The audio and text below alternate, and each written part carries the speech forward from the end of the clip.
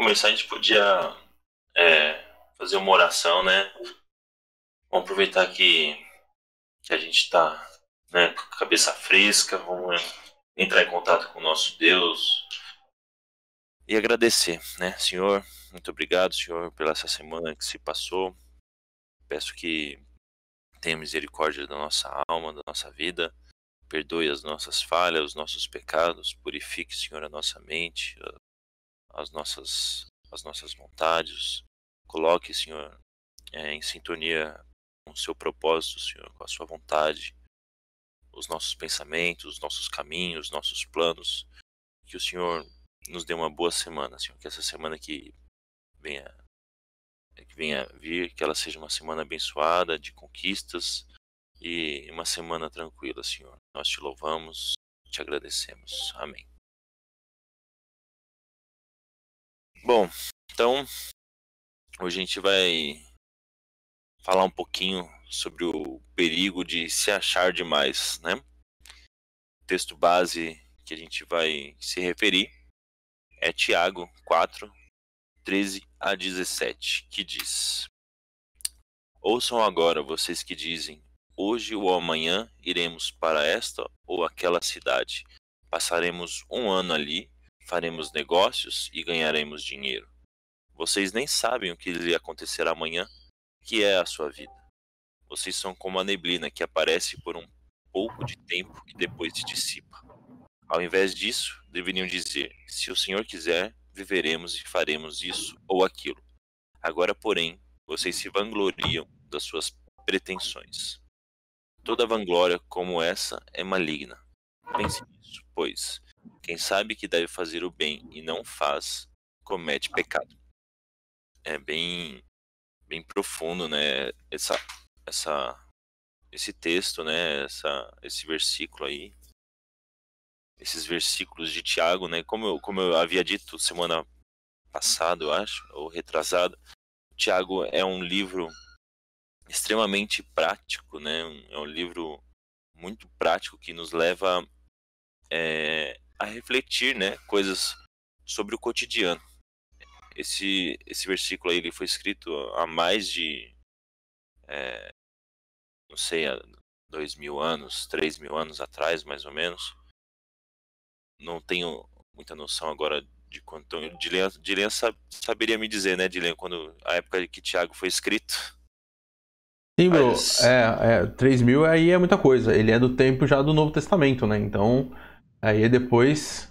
Ah, lógico, depois de Cristo, depois dessa questão, provavelmente Tiago foi o primeiro livro do Novo Testamento aí a ser escrito, mas vai ficar aí na década de 40, finalzinho da década de 40, tá? Então, aí 45, 46, enfim, por volta dessa, dessa data aí. Faz tempo pra caramba, né? E parece que ele tá vivendo nos dias de hoje e escrevendo para as pessoas é, dos dias de hoje, né? Que realmente a gente vê muita gente assim, né? Pessoas que podem estar fazendo bem e não fazem, né? Pessoas que poderiam estar fazendo bem e não fazem. Eu vou, eu vou contar um, um pequeno acontecimento, que é, se é um acontecimento é porque aconteceu comigo, né? Então, é, aconteceu foi essa semana. Tava no mercado e, e aí eu saquei um dinheiro, mexi na carteira e quando eu fui guardar a carteira, eu tinha certeza que eu coloquei no bolso, mas eu não coloquei, ela caiu no chão. A carteira caiu no chão, eu entrei no carro e fui embora. E chegando em casa, eu percebo que eu tava sem minha carteira. E aí eu começo a ficar desesperado, porque tinha documento de, da moto, documento, meus documentos, tinha 70 reais ali. Pô, tinha, tinha algumas coisinhas que iam me dar dor de cabeça, né? Principalmente a parte de documentação é muito chata de, de resolver. E aí eu voltei pro mercado desesperado, procurando minha carteira, procurei no chão, não achei e já estava dando como perdida a carteira, né? Já estava, né, ficando frustrado com essa situação desamparado. E aí eu recebo uma mensagem no, no Facebook, eh, tal de Tiago, dizendo: Leandro, te achei, achei a sua carteira. Eu falo, meu Deus, não, não é possível, né? E realmente ele tinha achado minha carteira, ele veio até em casa, né? Ele, a gente começou a conversar por Facebook, pegou meu WhatsApp, ele veio até em casa me devolver. Eu até ofereci depois um, um dinheirinho para ele. Eles eram dois mecânicos, dois jovens, eles deviam ter cerca de 20 anos. E eles não aceitaram, eles né, fizeram bem sem esperar nada em troca. O que eu quero dizer com isso é que eu me surpreendi com essa atitude. Eu me surpreendi com uma atitude boa, sendo que não era para eu me surpreender com uma atitude boa, certo? Isso era para ser comum, era para ser uma coisa comum as pessoas fazerem isso, mas a gente sempre espera o mal, a gente sempre espera o pior do ser humano. Mas isso me fez refletir que ainda existe, ainda há chances, ainda há esperanças. Porque existem pessoas boas, existem pessoas que se preocupam com o próximo, existem pessoas que, que estão preocupadas com o próximo, né? Isso me, me levantou muita alegria, porque é, faz sentido, né? Faz sentido. Eu falei, poxa, que surpresa boa, né? Mas isso não deveria ser uma surpresa, isso deveria ser uma coisa muito comum. E, e eu fiquei feliz, né? Principalmente aliviado, né? Por ter recebido a minha, a minha carteira de volta. E fiquei inconformado. Pô, ele não aceitou nem um dinheirinho, ele não quis nada, não quis entrar tomar um café, ele não pude, é, não consegui agradecer ele da forma que eu queria, né? Mas para ele, acho que só pelo fato dele me ver feliz, dele me ver aliviado, foi o suficiente. Eu acho que falta um pouco disso nos dias de hoje. Falta um pouco de empatia, a gente se colocar um pouco no lugar do próximo e fazer o bem sem, sem olhar a quem, né? Fazer o bem só por fazer, porque a gente acredita que é, o, é o certo, né? É, e aí eu levantei essa questão para um pessoal e eu perguntei o que, que vocês fariam e aí começou, né, uma, uma leve discussão. Uns diziam depende da situação da pessoa, depende é, também do caráter, né? Depende. Tem várias, é, várias coisas aí que a gente poderia denominar, né? Mas acho que a principal motivo que levou eles a fazerem isso foi a empatia, né? Eles olharam o documento, viram meu nome e eles devem ter pensado, pô, esse moleque vai ter uma dor de cabeça do caramba, vamos ajudar ele, né? Vamos devolver para ele. E foi simples, foi uma atitude simples, mas que mudou, me comoveu é, e me, me gerou esperança, né? Uma atitude muito simples. Então, uma atitude, por mais simples que, que ela possa parecer, uma atitude é, às vezes até boba para você, mas para outra pessoa que está recebendo, para outra pessoa que está tá no, no outro, que você está se colocando no lugar, para ela significa muito, né? Então, às vezes um, um, sim, um, simples gesto de dizer um Jesus te ama, um eu te amo, ou um obrigado, ou conta comigo, pode fazer muita diferença, né? E eu quero falar hoje sobre pessoas que se acham demais, né? É, pessoas que se acham uh, o centro é, de toda a existência, né? Porque existe uma palavrinha chamada soberba, tá? E, e a gente a gente já vai entrar nisso. Eu pulei uma parte aqui. Então a gente quando a gente confia muito na gente, a gente faz planos é, por conta própria, né? A gente, a gente é o centro da nossa vida e a nossa vontade é o que importa, é, os nossos desejos que são relevantes, o do próximo tanto faz, o, a, a vontade de Deus também tanto faz. É, é, não tem problema a pessoa se amar. Pelo contrário, é o correto a pessoa se amar, ter amor próprio. O que não é correto é a pessoa ter soberba. E a gente já vai falar um pouquinho sobre soberba. Mas antes eu queria fazer uma, uma reflexão, né? Perguntar para vocês, né? Você gosta de se planejar? E quais são os seus planos? Você é uma pessoa planejada? Você é uma pessoa que gosta de se planejar? Por exemplo, ah, essa semana aqui é, eu vou acordar todo dia às 6 horas, vou para academia, depois vou para a escola, vou trabalhar, depois eu almoço. Então você gosta de se planejar ou tem outros tipos de planejamento. Ah, no final do ano eu quero viajar, eu quero ir para praia, eu quero ir para o sítio, né? E quais são os seus desejos, né? Quais são os desejos que estão no mais profundo, né, do seu ser, Quais são os seus sonhos? Eu gostaria, às vezes, de viajar o mundo, de conhecer o mundo, de conhecer lugares. Você tem esse desejo de servir o Senhor? né? Você coloca Deus nos seus planos, você coloca a vontade de Deus como prioridade, né? Ou é só a sua vontade, né? Então, essa reflexãozinha e em quem você confia, né? Você confia em quem? Confiança é um laço que, se rompido uma única vez, poderá nunca mais ser traçado, né?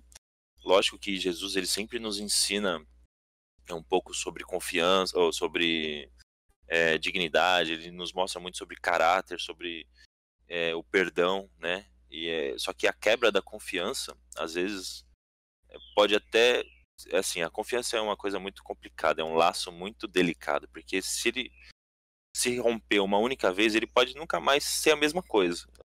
Você até pode conquistar a confiança da pessoa, mas para você perder a confiança da pessoa, basta um único deslize. Para você reconquistar essa confiança de volta, é muito demorado. Você precisa provar que você mudou, você precisa é, mostrar em atitudes que você está disposto a mudar, que você está disposto a, a, a, a ser diferente, né? E isso exige muito sacrifício, né? Dependendo. E para quebrar confiança, gente, é, é, muito fácil, né?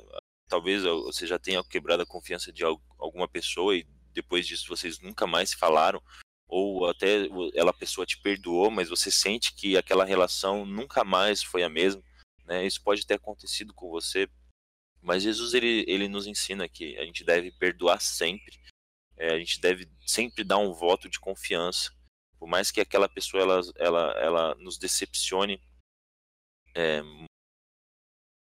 contínuas vezes, né? Por mais que ela, que ela nos dê decepções, a gente precisa ainda acreditar no ser humano, acreditar que ainda existe esperança e acreditar que ainda existem pessoas boas, tá?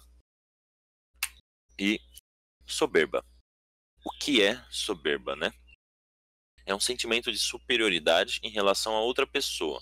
Orgulho, altivez, arrogância, presunção, é, comportamento de pessoas arrogantes, presunçosa, prepotência, sobreposição de algo que se encontra em lugar inferior, elevação, sobranceria, tá? Tudo isso significa soberba, uma pessoa extremamente egocêntrica, arrogante, e que ela é o centro da vida dela e só ela importa, ninguém mais importa, e todo mundo que está ao meu redor é, não é mais importante do que eu, ou não é melhor do que eu, e são todos inferiores de alguma certa forma. Eu coloquei a imagem aqui é, dos fariseus, né? Eu acho que eles representam bem isso, que quando, quando os judeus na época, os fariseus, eles esperavam um Messias extremamente, é, como é que posso dizer, como se fosse um Che Guevara da vida, né? Um cara revolucionário, uma pessoa que chegasse e quebrasse tudo e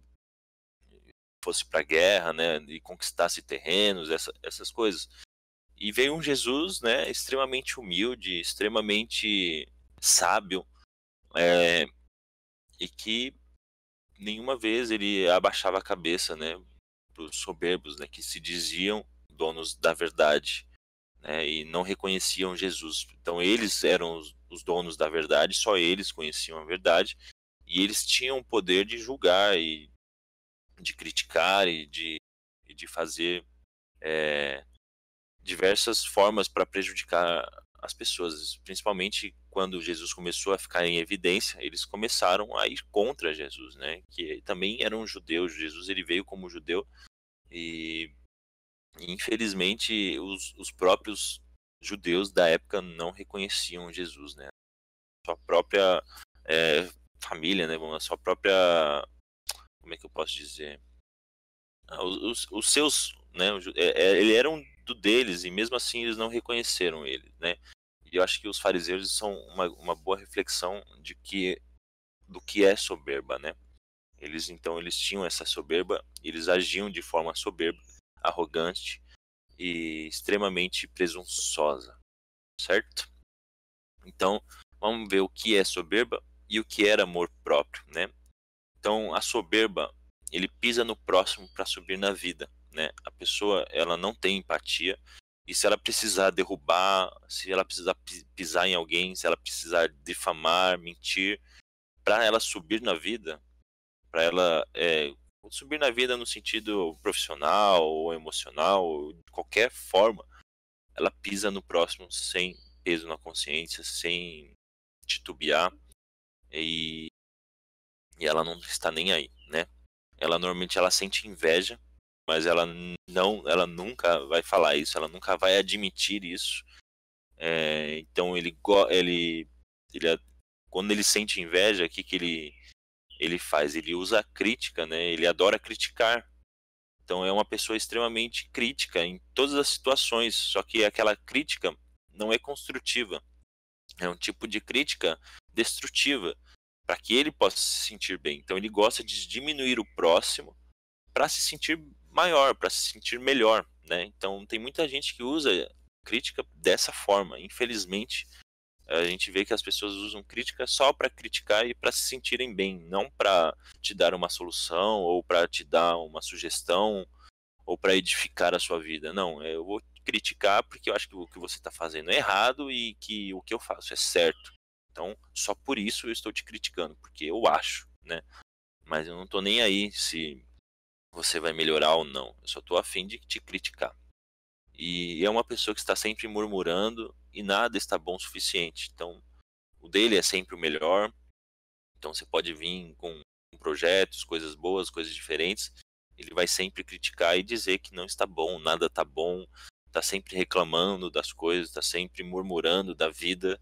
É, nunca, nunca coloca né, uma coisa para edificar. Ele nunca traz para trazer conhecimento, para agregar, né? Ele pelo contrário, ele gosta da, da confusão, ele gosta de, de trazer aquela, aquela confusão mental, né? De, de trazer filosofias infundadas e aquelas coisas meio sem sentido. Então a soberba ela está muito ligada à inveja, à arrogância, à prepotência, pessoas que não, não têm humildade, pessoas que, que não sabem reconhecer os seus próprios erros, que não que não estão afim de melhorar, não estão afim de, pô, hoje eu Hoje eu acordei, mas eu vou tentar ser melhor do que ontem. Eu sei que eu sou um pecador, eu sei de onde eu vim, eu sei para onde eu vou, né? Então vamos falar um pouquinho de amor próprio. O amor próprio ama Deus em primeiro lugar e o próximo como a si mesmo. Isso é, isso é a base, né? A base do evangelho, a base do que Cristo, né, nos ensinou. Amar a Deus sobre todas as coisas e ao próximo como a ti mesmo. Então você precisa se amar. Você precisa estar bem para que você consiga fazer o bem, né? Não adianta você se encher de coisas ruins, né? De se encher de coisas que não edificam e querer passar isso para o próximo, sendo que isso é uma coisa natural, né? Quando você se ama, quando você ama a Deus, é, é natural que você vai e faça o bem. É natural que a sua fé ela dê frutos. E é muito que o Tiago fala né? Ele fala que a fé sem obras ela é, é morta, né? ela é nula.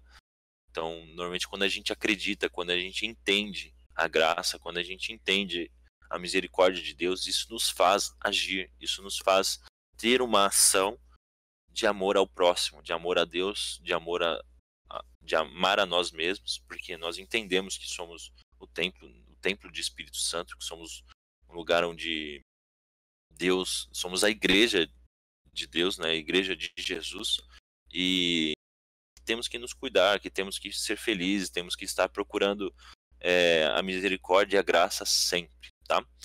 Costuma, quem, quem tem um amor próprio, quem tem esse amor próprio e não a soberba, sente gratidão e adora servir.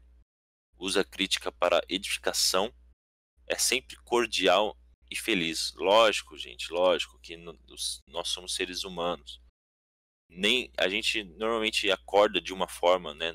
Conheço pessoas assim que acordam de mau humor e na hora que vão dormir estão extremamente de bom humor. Então a gente não mantém o nosso mesmo humor durante o dia inteiro.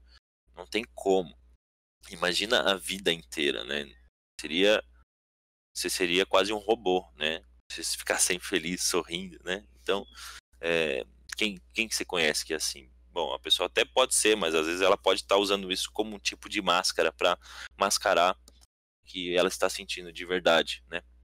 Mas na maioria das vezes uma pessoa cordial, isso isso é, é, o mínimo, né? Você ser cordial com a pessoa, com o próximo, é você ter respeito, é você saber, né?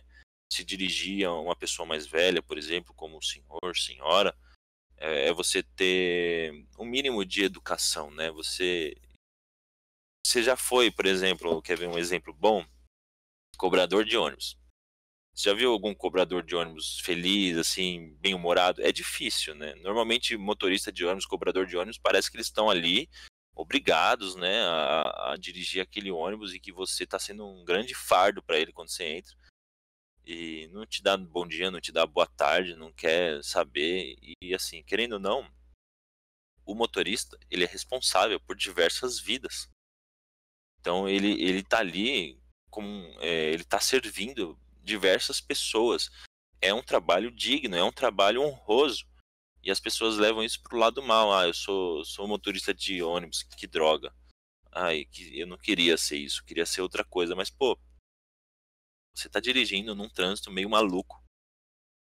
E tem 30, 40 pessoas aí que você tá carregando. Imagina se você é um irresponsável, se você não tem responsabilidade. Olha a, o tamanho da responsabilidade que você tem. São 30 vidas, 30 pais, 30 mães ali que estão. E você é responsável por essas pessoas, né? Então, ser cordial é, é saber da sua responsabilidade, é saber da sua função, do seu propósito. Então, sabe sua origem e sabe o seu destino. Então, nós sabemos de onde a gente veio. A gente sabe que a gente, antes da gente nascer, Deus já olhou para, já sabia né, o mais profundo do nosso ser. Ele já sabia como ia ser o nosso caráter, ele já sabia como a gente ia se portar. Deus ele conhecia a gente muito antes da gente nascer. Então a gente é um plano de Deus.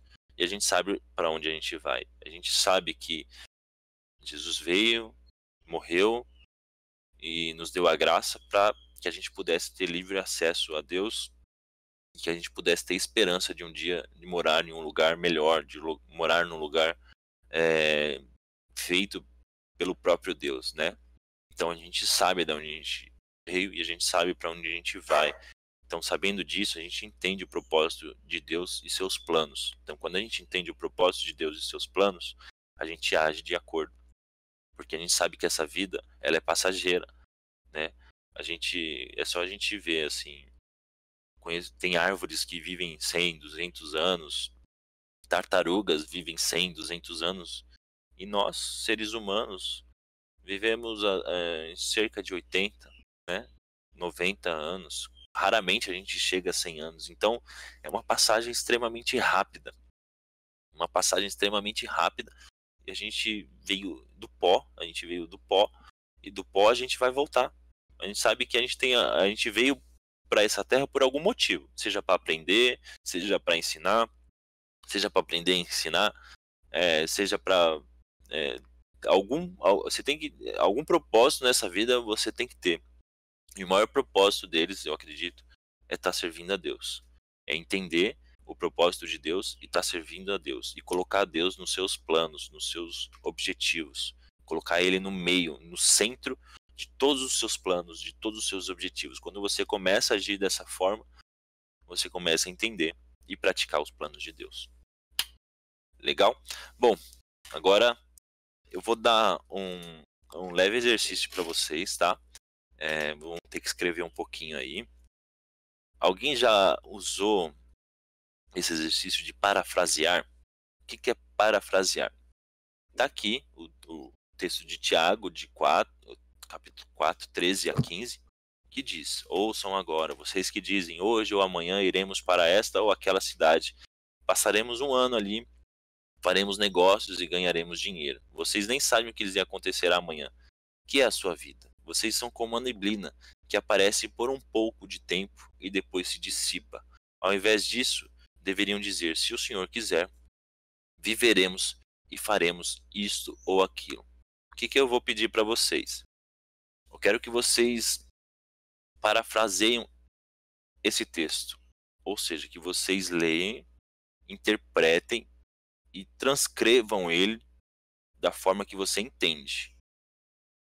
Tá? Da forma que é, de uma com uma outra interpretação, de, com a sua interpretação que você faça um texto que diz a mesma coisa que está dizendo aqui, que tem o mesmo significado, mas com as suas palavras, podendo usar outros exemplos, podendo usar outras outras formas de dizer, tá? E, e mandem, escre escrevam e mandem no no Discord mesmo, tá? Eu vou eu vou dar um tempinho, eu vou dar aí para vocês 10 minutinhos, tá? São 11 11 horas até 11 h 10, tá? Todo mundo pode mandar no chat, tá? É, pode mandar aqui no Eu não entendi muito bem.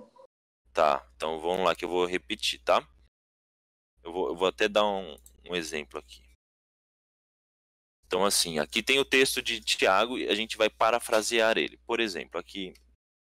O que, que, quer dizer esse contexto? Esse contexto diz assim: bom, é, as pessoas podem até fazer planos, mas se não colocar Deus, né? Vocês sabem que lhe acontecerá amanhã. Vocês nem sabem o que lhe acontecerá amanhã, que é a sua vida. Vocês são como a neblina que aparece por um pouco de tempo e depois dissipa se eu fosse trans, transferir isso, fazer uma parafrase disso, então o que eu, eu faria, faria em minhas palavras? Falar assim, poxa, nós somos humanos, nós não temos controle sobre a nossa vida, nós não sabemos se amanhã a gente vai acordar ou não.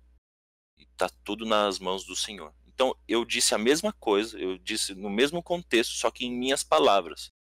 Entende? Ou ficou confuso ainda? Não, eu acho que eu peguei. Pegou? Então você, você vai ter que pegar esse, esse contexto, transferir esse contexto, mas nas suas próprias palavras, tá? Podendo usar exemplos da sua vida, podendo usar palavras, tá? Não precisa ser uma coisa quadradinha. É, mas eu, eu também vou enviar o meu, tá? Eu vou dar 10 minutinhos aí pra gente fazer. Três pessoas escrevendo, tá? Se quiserem esperar os primeiros exemplos, tá? Aí tudo bem, eu vou dar 10 minutinhos para a gente fazer, tranquilo? Ele diz assim, ó, somos pequenos e limitados. Mesmo assim, queremos queremos é, ter, acho que, controle das nossas vidas.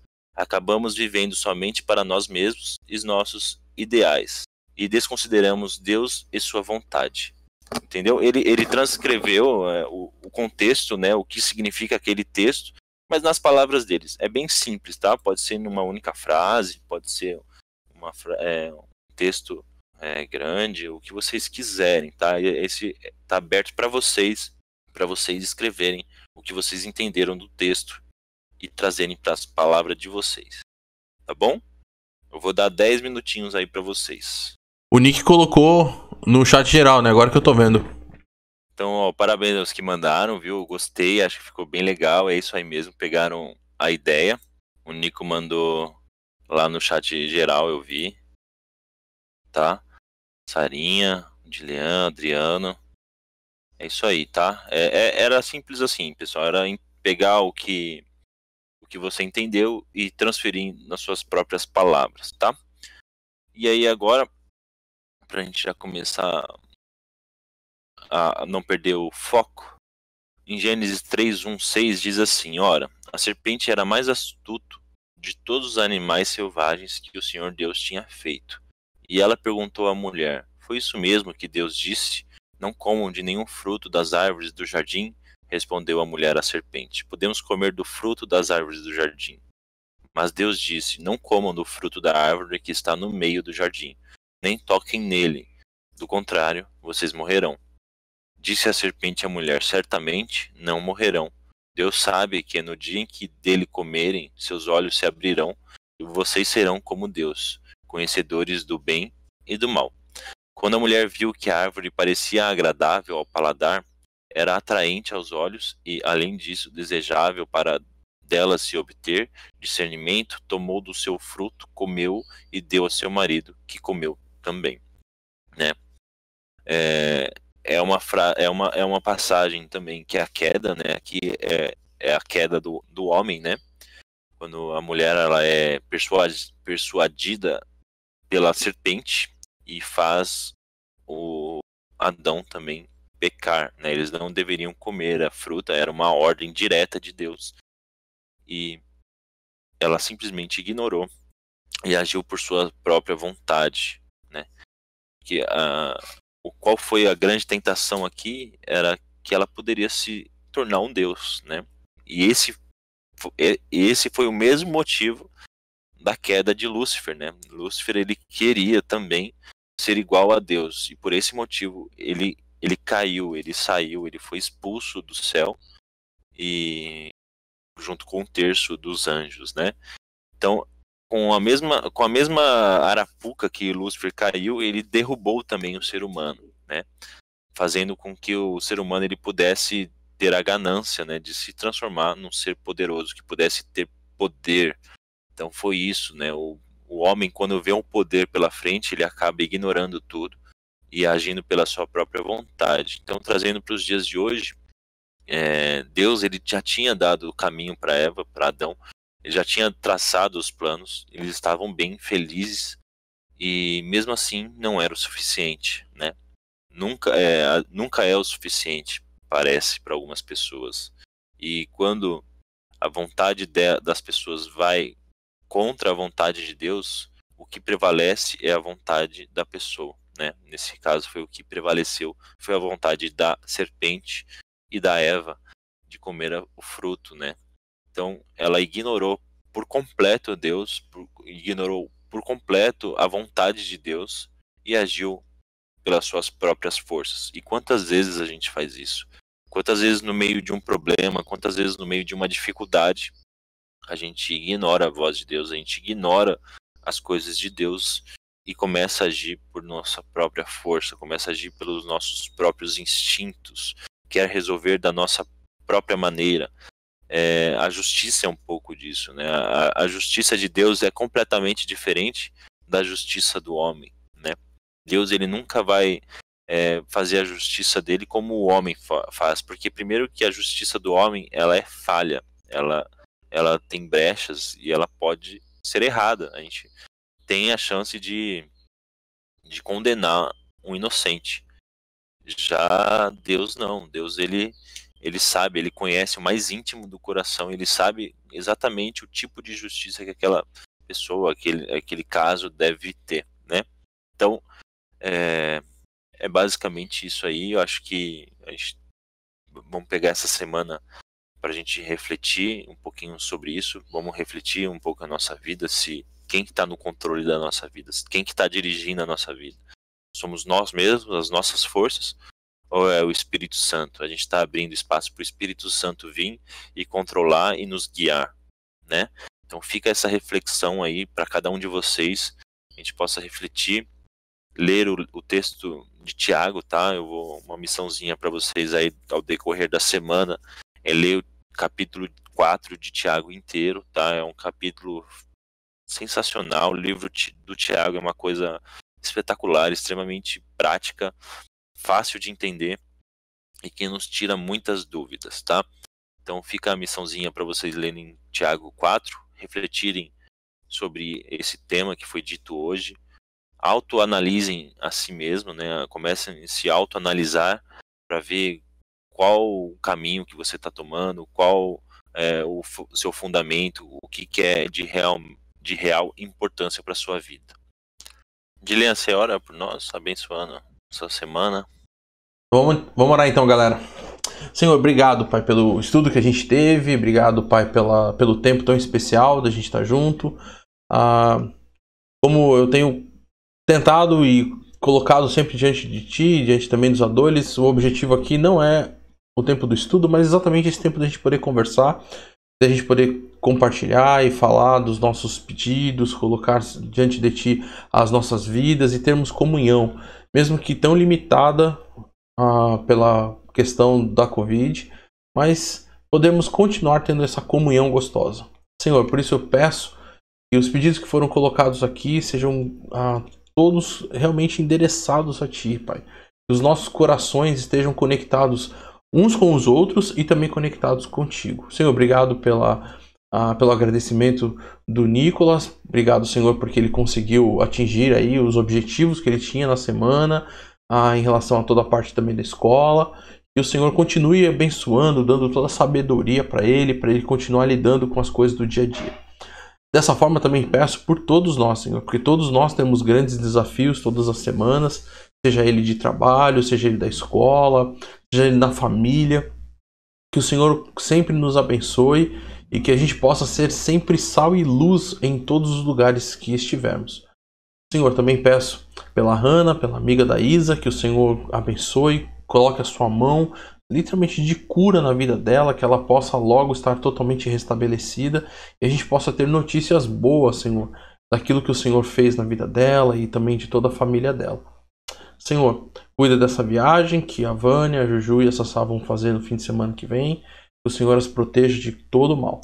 Senhor, cuida de todos nós durante essa semana, que a gente possa ter um, um, uma semana muito gostosa, uma semana de, de aproveitarmos a tua graça, aproveitarmos estarmos na tua presença uh, constantemente, que a gente possa se lembrar de ti, se lembrar, Pai, do teu reino, se lembrar dos nossos amigos aqui, que a gente possa estar o tempo todo, Senhor, uh, conectado com em Ti, com orações, com o estudo da palavra, que a gente possa se manter, Senhor, sempre firme em Ti. É o que eu te peço em nome de Jesus. Amém.